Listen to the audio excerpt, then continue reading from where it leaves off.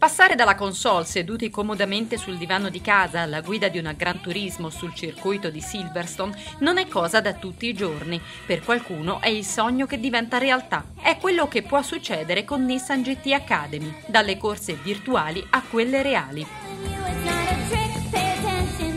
Oltre un milione di concorrenti in tutto il mondo, di cui 831.000 solo in Europa, si sono sfidati nelle qualificazioni online e negli eventi live.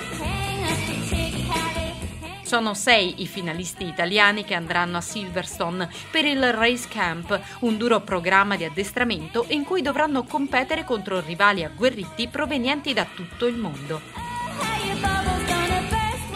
Dopo essere stati sottoposti a dure prove fisiche, di comunicazione, simulazioni ed una prova di guida su un percorso di handling a bordo di una 370Z Coupé, sul volto di questi ragazzi traspare una sola cosa, determinazione. La posta in gioco è alta, per il migliore una carriera nelle competizioni ed un biglietto per la 24 ore di Dubai.